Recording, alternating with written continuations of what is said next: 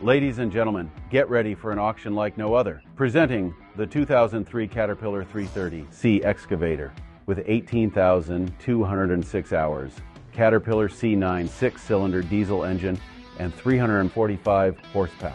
This game changer features a hydrostatic transmission for control, an enclosed cab with AC and heat for comfort, and options like auxiliary hydraulics and a standard boom and stick. Choose between two Caterpillar buckets, 54 and 60 inch, both with six teeth for maximum digging power.